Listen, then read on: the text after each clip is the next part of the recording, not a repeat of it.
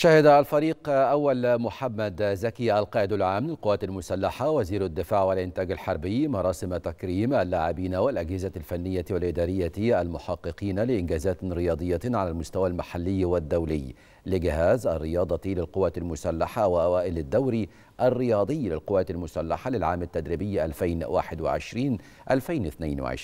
وأكد وزير الدفاع أن القوات المسلحة تسعى دائما لإنشاء منظومة رياضية متكاملة لتأهيل البراعم الرياضية من خلال المدارس العسكرية الرياضية.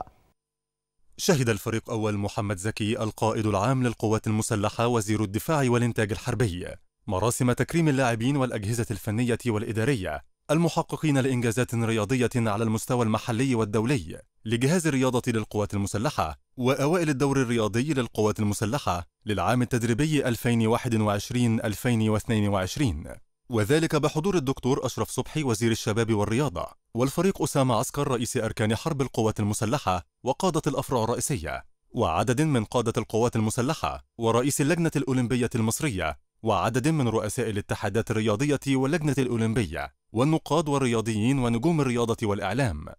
بدأت مراسم الاحتفال بعرض فيلم تسجيلي من إعداد إدارة الشؤون المعنوية. تناول نشأة وتاريخ جهاز الرياضة للقوات المسلحة مرورا بالإنجازات التي حققها أبطاله ومساهمتهم في الارتقاء بالمنظومة الرياضية ورفعة راية الوطن. وألقى اللواء أركان حرب حسام خضر رئيس جهاز الرياضة للقوات المسلحة كلمة أكد خلالها أن ما حققه لاعبو جهاز الرياضة للقوات المسلحة من إنجازات مشرفة لمصر. يأتي نتيجة للدعم المتواصل الذي تقدمه القيادة العامة للقوات المسلحة للارتقاء بالمنظومة الرياضية والاهتمام ببناء قاعدة من الأبطال الرياضيين.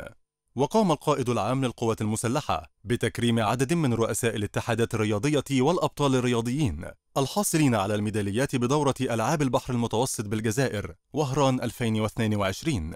ولاعبي ولاعبات أندية المؤسسات العسكرية ونادي طلائع الجيش المشاركين في مختلف البطولات الدولية والإفريقية والعربية والدور الرياضي للقوات المسلحة للعام التدريبي 2021-2022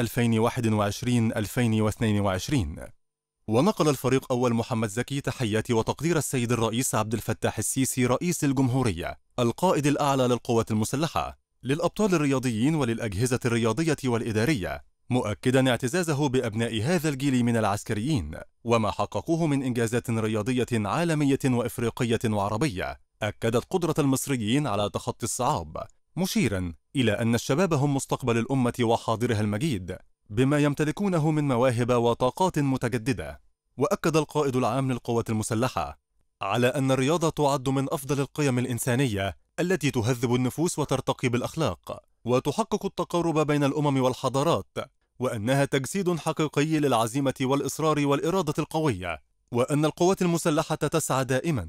لإنشاء منظومة رياضية متكاملة داخل القوات المسلحة لتأهيل البراعم الرياضية من خلال المدارس العسكرية الرياضية فضلا عن التعاون المستمر مع وزارة الشباب والرياضة وغيرها من الصروح الرياضية.